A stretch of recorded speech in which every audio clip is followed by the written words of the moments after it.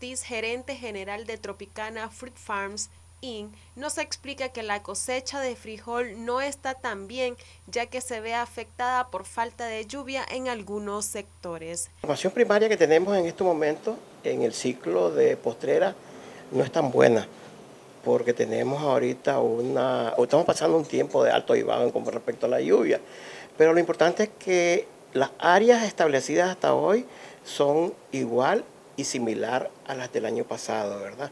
A pesar pues que en el país se ha ido mucha gente, pero sabemos que en este, en este caso la mano de obra para los granos básicos y específicamente para el frijol sigue siendo la familiar.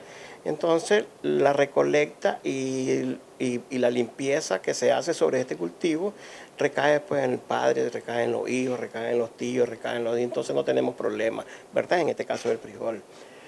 Hasta el momento veníamos bien con el ciclo vegetativo en algunas zonas, ¿verdad?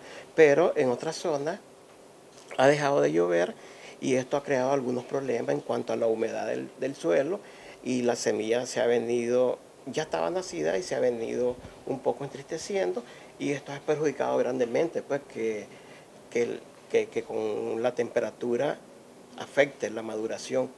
Y, y también en otra zona que se sembró, que se resembró, también la semilla sufrió un estrés porque la temperatura del suelo no estaba apta para recibir la semilla y esto también nos ha traído problemas.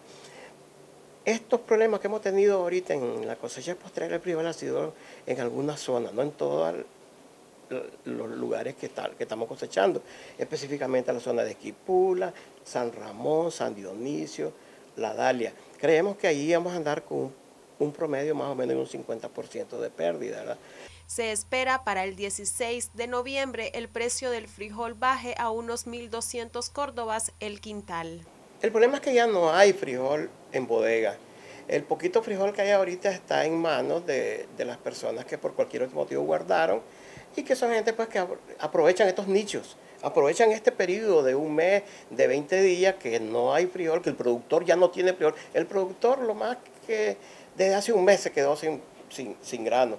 Entonces este tipo de persona que tiene este tipo de frijol y aprovecha este momento para sacarlo y eso lógicamente pues encarece la cadena a tal punto pues que en las pulperías están hasta 35 córdobas el quintal de frijol. Pero esperemos que después de ya del 15 de noviembre esto tiene que bajar rotundamente. Para Noticias 12, Nora González.